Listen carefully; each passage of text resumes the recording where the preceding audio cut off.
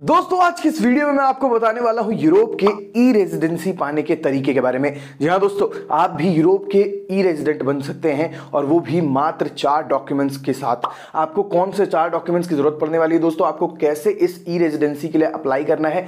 सारी की सारी जानकारी आपको मैं दूँगा वीडियो में। बस वीडियो के एंड तक बने रहिएगा दोस्तों। वीडियो अगर पसंद है वीडियो को लाइक कीजिएगा, शेयर कीजिएगा और चैनल को सब्सक्राइब करना मत भूलिएगा दोस्तों। जिस कंट्री की बात मैं कर रहा हूँ, यूरोपियन कंट्रीज़ में से, वो कंट्री है दोस्तों एस्टोनिया जो कि बहुत पॉपुलर कंट्री है, बहुत खूबसूरत कंट्री है। छोटा सा देश है दोस्तों, चौदह से पंद्रह लाख लोग रहते हैं मात्र, और एस्टोनिया को जो है दोस्तों मोस्ट डिजिटल कंट्री कहा जाता है दुनिया भर में। तो आप सोच सकते हैं दोस्तों, जो दुनिया की सबसे डिजिटल कंट्री है, वो ई रेजिडेंसी तो देगी ही।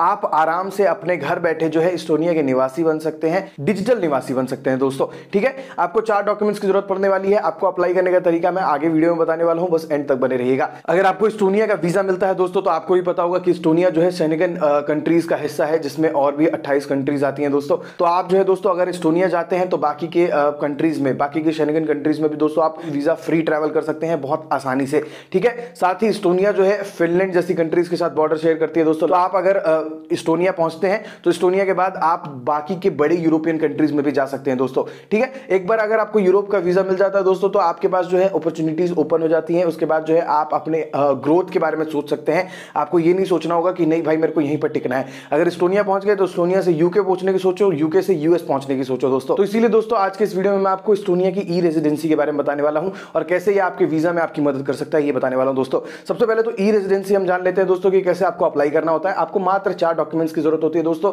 आप अपने घर बैठे जो है ई रेजिडेंसी के लिए अप्लाई कर सकते हैं। सबसे पहले डॉक्यूमेंट जो होने वाला है दोस्तों, आपका सीवी होने वाला है, ठीक है? और ये जो है इस्टोनियन गवर्नमेंट की वेबसाइट भी आपको देखने के लिए मिल जाएगा दोस्तों। आप खुद से जाकर के भी चेकआउट कर सकते हैं। मैं लिंक जो है आपके लिए डिस्क्रिप्शन बॉक्स में डाल दूँगा। सारी डिटेल्स आप जाकर के वहाँ पढ़ सकते हैं।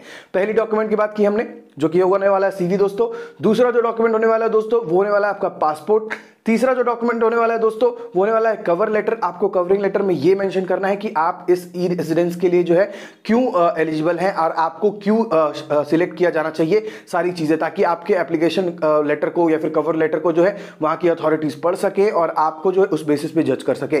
तो वो कवर लेटर आपको लगाना होता है दोस्तों, साथ ही आपको एक पासपोर्ट फ़ोटो लगानी होती है। बस यही चार डॉक्यूमेंट होते हैं दोस्तों फ़ोटो सीवी कवर लेटर और आपका पासपोर्ट आईडी ओरिजिनल ठीक है? तो ये आपको लगा करके जो है फ़ोटो वगैरह लगा करके जो है आपको जमा करना होता है ऑनलाइन। ऑनलाइन जमा करने के बाद जो है, अब प्रोसेस स्टार्ट हो जाता है। दोस्तों, वहाँ की अथॉरिटीज के पास आपका जो है, ये पूरा का पूरा एप्लीकेशन पहुँचता है। वहाँ की अथॉरिटीज जो है, दोस्तों, आठ से तीस दिनों के अंदर अंदर मतलब कि आपको देखा जाए तो एक से चार हफ्तों के अंदर अंदर जो है, आपके एप्लीकेशन को चेकआउट करती है। आपके एप्लीकेशन को चेकआउट करने के बाद वो आपके बैकग्राउंड चेक वगैरह करती है, आपके बारे में पता वगैरह करती है। अगर उनको लगता है कि नहीं भाई, इस बंदे को दिया जा सकता है तो वो आपके एप्लीकेशन को अप्रूव करती है। अप्रूव करने के बाद जो है, मैं आपको एक और चीज़ क्लियर कर दूँ कि आप जब एप्लीकेशन करते हैं दोस्तों तो आपके पास एक ऑप्शन होता है पिकअप लोकेशन का। तो आपको जो है वहाँ पर पिकअप लोकेशन सिलेक्ट करना होता है। आप जो है अपनी कंट्री के एम्बेसी को सिलेक्ट कर सकते हैं एस्टोनियन एम्बेसी को। अदरवाइज़ आपके कंट्री में अगर एस्टोनियन एम्बेसी नहीं है तो आप अपने नेबरिंग कंट्रीज़ के एस्टोनियन एम्बेसी को सिलेक्ट कर सकते हैं एज योर पिकअप लोकेशन क्योंकि जब आपका एप्लीकेशन अप्रूव होता है दोस्तों तो आपको जो है किट भेजी जाती है। जैसे कि मैंने अभी बताया अथॉरिटी के पास जाएगा अथॉरिटी अप्रूव कर देगी। अप्रूव होने के बाद जो है आपका एक यूनिक कार्ड जनरेट किया जाता है दोस्तों। कार्ड जनरेट करने के बाद जो है किट भेजी जाती है, जिसमें आपका कार्ड होता है कार्ड रीडर होता है और उसमें और भी डिटेल्स होती हैं दोस्तों। वो सारी चीज़ें जो है आपके एस्टोनियन एम्बेसी में भेजी जाती है और फिर आपको जो है वहाँ जाकर के अपने मतलब इस पैकेज को पिक करना होता है दोस्तों। इसीलिए आपसे पूछा जाता है कि पिक योर लोकेशन ठीक है? आपका पिकअप लोकेशन क्या होने वाला है? इतना प्रोसेस कंप्लीट हो गया दोस्तों। उसके बाद जो है आपको स्टोनियन एम्बेसी में जाकर के अपने पैकेज को पिक करना होता है। पिक करने के लिए अगर आप जा रहे हैं तो याद रखिएगा कि आपको अपना ओरिजिनल पासपोर्ट आईडी जो है लेकर के जाना है। आप ही जा सकते हैं। आपके अलावा और कोई नहीं जा सकता है दोस्तों। वहाँ पर आपके बायोमेट्रिक्स वगैरह भी लिए जा सकते हैं। तो इसीलिए जो है, सारी चीज़ों के लिए तैयार रहिएगा दोस्तों। जब एक बार आप अपना वो ऑर्डर पिक कर लेते हैं, उसके बाद जो है दोस्तों, आप अपने घर आ सकते हैं। घर आने के बाद जो है दोस्तों पिकअप के बाद जो है दोस्तों, चौबीस घंटे के अंदर आपका जो है कार्ड एक्टिव हो जाता है। उस कार्ड के बाद जो है, आप अपना ई रेजिडेंसी हासिल कर लेते हैं। दोस्तों पैकेज वगैरह में जो है दोस्तों ई रेजिडेंसी पाने के लिए सॉफ्टवेयर वगैरह इंस्टॉल करने का तरीका बताया जाता है। वो इंस्टॉल कर सकते हैं आप बहुत आसानी से।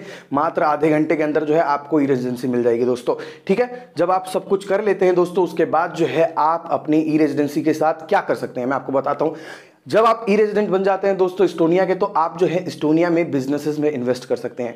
अपनी खुद की कंपनी खोल सकते हैं दोस्तों, वहाँ पर बैंक अकाउंट वगैरह खोल सकते हैं, ठीक है? इतनी सारी आपको छूट मिलने वाली है दोस्तों। मोस्टली जो है दोस्तों, इस वीज़ा का इस्तेमाल जो है एंटरप्रेनर्स करते हैं ग्लोबल एंटरप्रेनर्स करते हैं। आप ऑस्ट्रेलिया यूके किसी भी कंट्री से हैं दोस्तों तो आप बहुत आसानी से जो है इस्टोनिया की ई रेजिडेंसी ले सकते हैं। मात्र दो कंट्रीज़ के लोगों को जो है इस्टोनिया की ई रेजिडेंसी पाने के लिए रेस्ट्रिक्ट किया गया है, जो कि है रसिया और बेलारूस। इन दो कंट्रीज़ के सिटीजन जो है नहीं ले सकते दोस्तों। तो आप अगर इंडिया में बैठ करके ई रेजिडेंसी ले लेते हैं तो आप जो है इस्टोनिया में बिज़नेस वगैरह ओपन कर सकते हैं, दोस्तों, अपनी कंपनी ओपन कर सकते हैं, खुद का अपना एक ब्रांड बना सकते हैं, अगर आप चाहें तो। अदरवाइज़ आप ये सब नहीं कर रहे हैं तो आप बिजनेसेस में इन्वेस्ट कर सकते हैं, जो ऑलरेडी एक बना हुआ बिज़नेस है, दोस्तों स्टार्टअप्स में इन्वेस्ट कर सकते हैं। आप अलग अलग चीज़ों में इन्वेस्ट कर सकते हैं, आपको सारी जानकारी जो है, आपके ई वीज़ा जो कार्ड आता है, दोस्तों, उसमें मिल जाएगी, ठीक है? वहाँ सारी चीज़ें आप पढ़ सकते हैं अदरवाइज़ आप इस्टोनिया गवर्नमेंट की ऑफिशियल वेबसाइट पर जाके भी पढ़ सकते हैं, बहुत सारी जानकारी आपको मिलेगी, दोस्तों। जब आप ये सारी चीज़ें कर लेते हैं तो इसके बाद जो है आपका जो है प्रोफ़ाइल बिल्ड होना तैयार हो जाता है दोस्तों, जिससे आपको जो इस्टोनिया का वीज़ा मिल सकता है बहुत आसानी से। मैं आपको ये नहीं बोलूँगा कि ई रेजिडेंसी ले ली तो आप इस्टोनिया जा सकते हैं, क्योंकि ई रेजिडेंसी आपका वीज़ा नहीं होता है दोस्तों, इस चीज़ को हमेशा याद रखिएगा। ई रेजिडेंसी जो है आपके पास एक पावर होती है, एक अथॉरिटी होती है, ठीक है? उस पावर को जो है आप इस्टोनिया जाने के लिए इस्तेमाल नहीं कर सकते। आप इस्टोनिया में कुछ करने के लिए इस्तेमाल कर सकते हैं, ठीक है? अगर आपको इस्टोनिया जाना है तो उसके लिए आपको जो है अपनी प्रोफ़ाइल बिल्ड करनी होगी, जैसे मैंने आपको बताया बिजनेसेस वगैरह में इन्वेस्ट करना चालू कर दीजिए। आप जो है अपना बैंक अकाउंट वगैरह ओपन कर लीजिए इस्टोनिया में और आप आराम से कर सकते हैं दोस्तों। और उसमें जो है ट्रांजेक्शन वगैरह ज़्यादा चालू कर दीजिए। अगर आपके अकाउंट में आता जाता रहेगा पैसा तो इस्टोनिया गवर्नमेंट देखेगी कि नहीं भाई, ये एक्चुअली में इंटरेस्ट ले रहा है और इसको जो है वीज़ा दिया जा सकता है। फिर अगर आप जाना चाहते हैं इस्टोनिया तो आप जो है वीज़ा के लिए मतलब अप्लाई भी कर सकते हैं दोस्तों। वहाँ पर आपको जो है डी वीज़ा के लिए अप्लाई करना होगा। टूरिस्ट वीज़ा के लिए अप्लाई मत कीजिएगा। और एक बार जब आपको इस्टोनिया का वीज़ा मिल जाएगा दोस्तों तो आप जो है अपने परिवार के साथ भी इस्टोनिया जा सकते हैं। साथ ही आप जो है वहाँ पर रह करके परमानेंट रेजिडेंट बन सकते हैं दोस्तों। आप यूरोपियन सिटीजन बन सकते हैं बहुत आसानी से। तो ये पूरा का पूरा प्रोसेस होता है कि किस तरीके से ई रेजिडेंसी लेकर के, मात्र चार डॉक्यूमेंट्स को लेकर के दोस्तों जो है, आप खुद के लिए एस्टोनिया का वीज़ा सिक्योर कर सकते हैं। और वो भी बिना किसी एजेंट के। आपको किसी एजेंट की ज़रूरत नहीं पड़ने वाली है दोस्तों। किसी को आपको पाँच सात लाख रुपए नहीं देने हैं। अगर आप इतने ही पैसे बाहर मतलब इन्वेस्टमेंट में लगाते हैं दोस्तों कंपनी वगैरह में लगाते हैं तो आपको एस्टोनिया का वीज़ा बहुत आसानी से मिलता है और आपको जो है उस कंपनी से फ़ायदा भी मिलेगा। ठीक है? तो ये चीज़ें जो है हमेशा ध्यान में रखिएगा दोस्तों। आई होप कि आप समझ चुके होंगे कि ई रेजिडेंसी के बारे में मैंने आपको क्यों बताया है। अगर समझ चुके हैं दोस्तों तो वेट करना छोड़िए। जल्दी से जल्दी जो है डॉक्यूमेंट्स जिन डॉक्यूमेंट्स के बारे में मैंने आपको बताया उन डॉक्यूमेंट्स के ज़रिए अपनी ई रेजिडेंसी के लिए अप्लाई कीजिए। अगर आप भी इस्टोनिया जाना चाहते हैं तो आज के आज ही अप्लाई कीजिए दोस्तों, ताकि आपको भी एक महीने के, दो महीने के अंदर जो है आपका ई रेजिडेंसी मिल सके इस्टोनिया का। तो दोस्तों, ये था हमारा आज का वीडियो। आई होप कि आपको वीडियो पसंद आया हो। वीडियो अगर पसंद आया, वीडियो को लाइक करें शेयर करें और चैनल को सब्सक्राइब करना मत भूलिएगा दोस्तों। आज के लिए इतना ही। मिलते हैं अगली वीडियो में एक नए टॉपिक के साथ तब तक के लिए बाय बाय